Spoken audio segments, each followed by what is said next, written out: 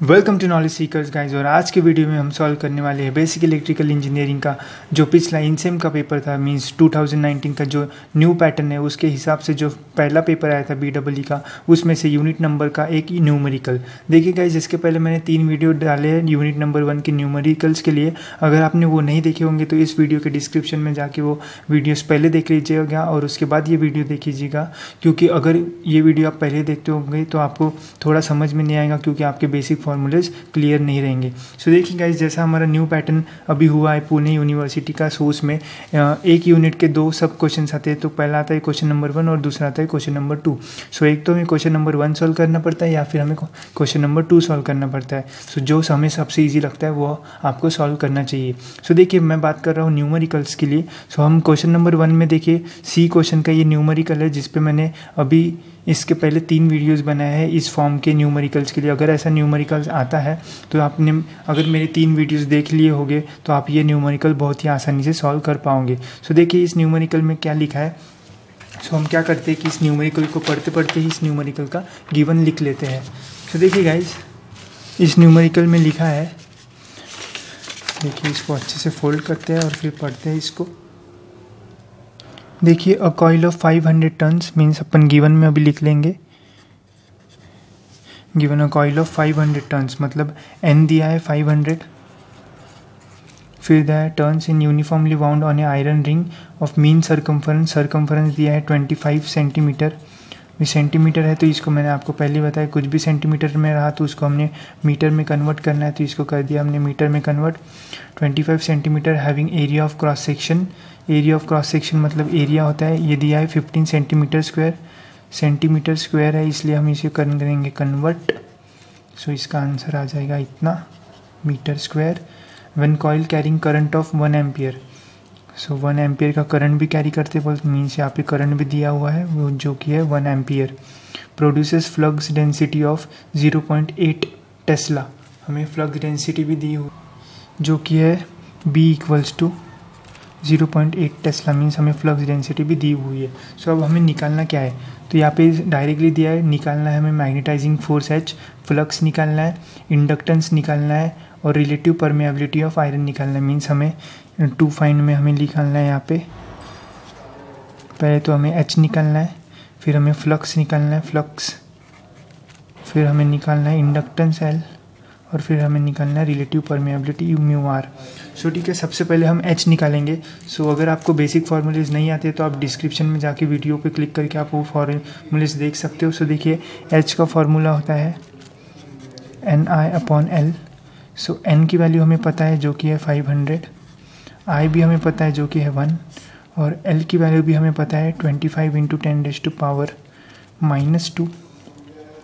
so अब हम इसे कर लेंगे सॉल्व सो so, सॉल्व करने के लिए हम साइंटिफिक कैलकुलेटर लेंगे इसको ऑन करेंगे डब्बे की बटन दबाएँगे। 500 hundred into one divided by twenty five into ten days to power minus two इसको करेंगे तो सॉल्व हमारा आंसर है टू थाउज़ेंड सो एच हमारा है टू थाउज़ेंड अब एच का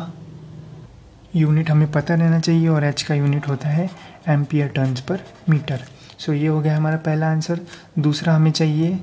फाइव मीन्स फ्लक्स निकालना है। तो हमें बी दिया हुआ है मीन्स डेंसिटी दिया और डेंसिटी का फॉर्मूला आपको पता है B equals to flux upon A तो हमें फ्लक्स निकालना है तो फ्लक्स इज़ इक्वल्स टू हो जाता है बी ए सो इसका फॉर्मूला हमने बी की वैल्यू दी है ज़ीरो पॉइंट एट और एरिया हमारे पास दिया हुआ है। एरिया है fifteen into ten this to power minus of four so हमारा आंसर आ जाएगा, देखिए zero point zero point eight into क्या है? Fifteen into ten this to power minus four so इसका आंसर आ जाएगा one point two into ten this to power one point two into ten this to power minus three weber so इसको हम ऐसे भी लिख सकते हैं one point two milli weber so ये आ गया हमारा फ्लक्स तो हमारे दो आंसर तो आ गए हैं यहाँ पे. एच और फ्लक्स आ गया है. अब हमें निकालना है एल एल मतलब होता है इंडक्टेंस अब इंडक्टेंस का फॉर्मूला इसके फॉर्म में आता है N five upon I N five upon I so N B है ये भी है आई भी है तो हम वैल्यूज़ पुट कर देंगे डायरेक्ट सो वैल्यूज़ पुट करने के लिए हमें कुछ करना पड़ता है। जो गिवन में वैल्यूज़ है, वही डालना है। प्लस ये है one point two into ten days to power minus three और आई की वैल्यू होती है वन इसको हम कर देंगे कैलकुलेट कैलकुलेट करने के लिए क्या यूज़ करेंगे? Scientific calculator into one point two into ten to power minus of three upon one तो हमारा आंसर आ जाएगा थ्री पॉइंट फाइव जिसको हम कर देंगे, जिस आया हमारा zero point six so zero point six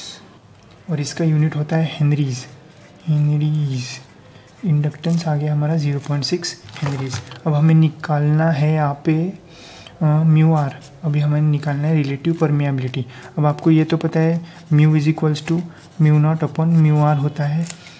तो अभी निकालना है म्यू आर मीन्स हमें निकालना है रिलेटिव परमिएबिलिटी